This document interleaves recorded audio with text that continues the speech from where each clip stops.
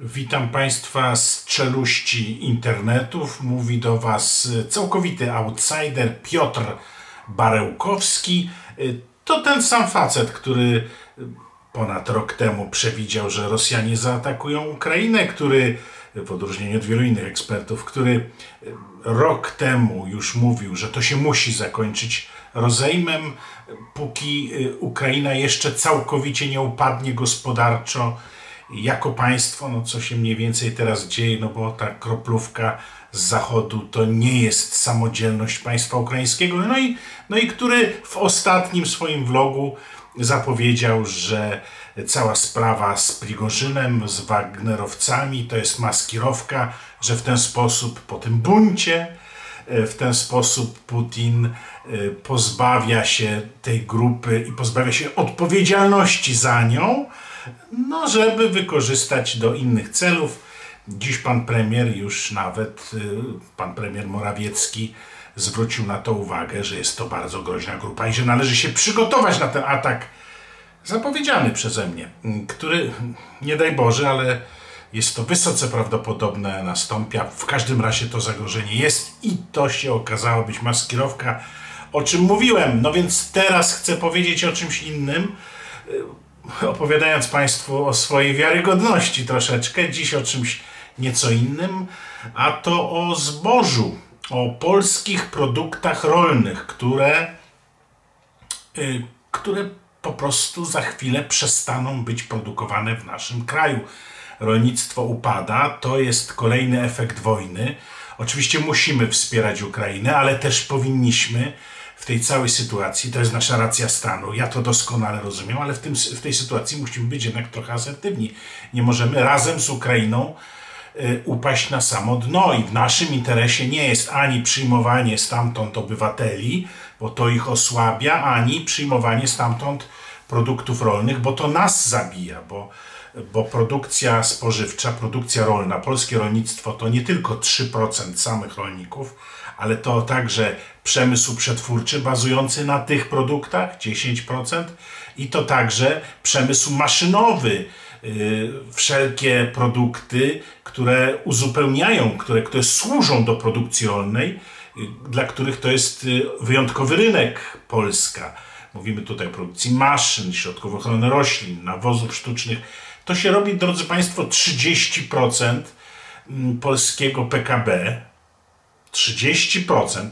Weźcie e, spokojnie kalkulatory i policzcie, e, ile na tym polskim rolnictwie rośnie różnych wspaniałych gałęzi. W Polsce przemysłu niezłe maszyny rolnicze, na przykład Pronar, no proszę Państwa, Kabat, firmy obsługujące rolnictwo, chluby polskiej gospodarki. Tak, tak, to wszystko, wszystko e, tak samo padnie jak w momencie, gdy padnie polskie rolnictwo. No i właśnie o tym chcę dziś powiedzieć troszeczkę szerzej, dokończyć tak naprawdę tezę, którą już na poły wygłosiłem. Otóż nie możemy pozwolić na to, żeby Ukraińcy zniszczyli polskie rolnictwo. Tak samo jak musimy być asertywni wobec nich, mówiąc, że muszą jakoś y, sprawy historyczne Wołyń z nami załatwić, że muszą jakoś załatwić sprawy polityczne, no bo też ostatnio nam tutaj wygrażają, że,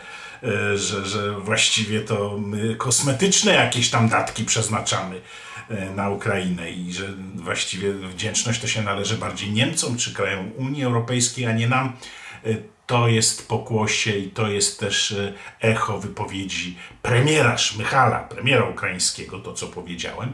A więc i sprawy historyczne, i sprawy polityczne, i sprawy gospodarcze nas bardzo różnią z Ukrainą. I, i wspólnie walcząc z, z Rosją musimy sobie te sprawy wyjaśniać.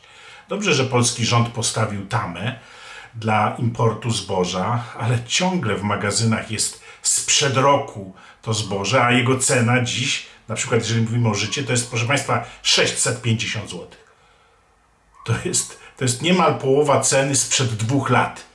Dlaczego? No bo, no bo oczywiście, powtarzam to jak mantrę, nie pokonamy y, żadną miarą konkurencyjnego zboża, konkurencyjnych dostaw i y, ekonomii, z którą, y, z którą działa Ukraina, na, na bazie której, czyli trzy razy więcej areałów, trzy razy lepszych gleb, tam są same jedynki, najlepsze gleby, no i ludzie pracujący za 100-150 dolarów miesięcznie. Tego w Polsce osiągnąć nie możemy nie osiągniemy nigdzie w Europie. Do tego oni nie stosują żadnych norm, y, które nas obligują, norm unijnych dotyczących środków ochrony roślin, nawozów sztucznych, produkcji, po prostu higieny produkcji rolnej. Więc te trujące, trzeba to powiedzieć, produkty zalewają Europę za naszą sprawą. Na szczęście tutaj polski rząd wykazał, tak jak już powiedziałem, pe pewien rozsądek. To się, to się Y, to spotyka się tutaj u nas z pewnym odporem. No i, no i właśnie, musimy dalej o tym e, dyskutować, bo polskie rolnictwo w tej sytuacji upadnie i polska gospodarka, mówiłem ile to procent PKB, będzie miała poważne kłopoty z tego powodu. Oczywiście nasze inwestycje na Ukrainie, do czego zachęcają różni y, lobbyści w, w polskich garniturach, y, na razie te inwestycje i ta, ta misja gospodarcza to jest fantastyka naukowa. A póki co, póki co, no to y, jeśli nie będzie transferowane bezpośrednio do zachodniej Europy lub przez nas do krajów afrykańskich, y, polskie, y, ukraińskie zboże, ale i inne produkty rolne, owoce miękkie, prawda, no miody, to, to jest pełna gama, pełna gama produktów, tak jak na recepcie napisana, która to recepta zabija polskie rolnictwo i tak naprawdę pogrąża całą polską gospodarkę. Proszę Państwa, więc, więc musimy, tu, musimy tu dać odpór. Musimy tutaj mm, zachować się stanowczo, bo to jest sprawa nie tylko polskiej ekonomii, ale też czegoś takiego jak bezpieczeństwo żywnościowe naszego kraju. To też jest pojęcie nie gdzieś tam z kosmosu, tylko, tylko to jest Y, taka oto sytuacja, że jeśli polskie rolnictwo upadnie, jeśli znacząco ograniczy swoją produkcję, a ja to widzę jako też rolnik posiadający pewien areał i uprawiający ziemię, widzę, że moi koledzy, rolnicy, którzy mają mniejsze areały, powiedzmy poniżej 20 hektarów, padają. I, I jeżeli oni padną, to to nie jest takie nic, bo naturalna kolej rzeczy, prawa ekonomii, o których tutaj bajają różni domorośli ekonomiści, a tak naprawdę lobbyści amerykańscy albo, albo i rosyjscy, proszę Państwa. Z różnych stron te pieniądze płyną na te granty. Tak więc, yy, tak więc yy, jest to sprawa bezpieczeństwa, bo jeśli ci rolnicy upadną, a to się, na to się zanosi, to drodzy Państwo, to Polska w przypadku jakiejkolwiek wojny, jakich, jakichkolwiek kłopotów, pandemii y, czy podobnego kataklizmu, y, staje się momentalnie y, ofiarą tego kryzysu i pada na kolana. Bo musimy mieć własne produkty, bo musimy mieć własne zaplecze, tak jak musimy mieć tego rodzaju, tak jak musimy mieć, drodzy Państwo, własną armię. Bezpieczeństwo żywnościowe jest składową ogólnego bezpieczeństwa państwa, więc to nie tylko sprawa ekonomii, ale także być albo nie być nas w sytuacji pewnej opresji. Dlatego to jest tak ważne, dlatego Polska powinna reagować zdecydowanie. Jak reagować? No przede wszystkim powstrzymać ten, ten, ten y, import, bo to nie jest pomaganie Ukrainie. Te podatki nie płyną do budżetu państwa ukraińskiego. Jak wiemy, y, pola Ukrainy, te, te wielkie set tysięczno, milionowe, w milionach hektarów liczone pola są po, podzielone na kilkuset tysięczne y, kondominia, domeny różnych oligarchów lub funduszy inwestycyjnych z zagranicy, które to po prostu złotówki a właściwie hrywny do budżetu ukraińskiego nie płacą. Więc to są rzeczy, na które należy zwrócić uwagę.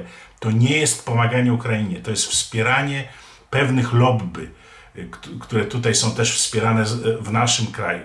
I na szczęście polski rząd nie daje do końca posłuchu tym potrzeptom y, bardzo groźnym. Więc, więc tu musimy postawić tamę, y, zbudować jakieś alternatywne drogi przy naszym wsparciu. Dlaczego nie?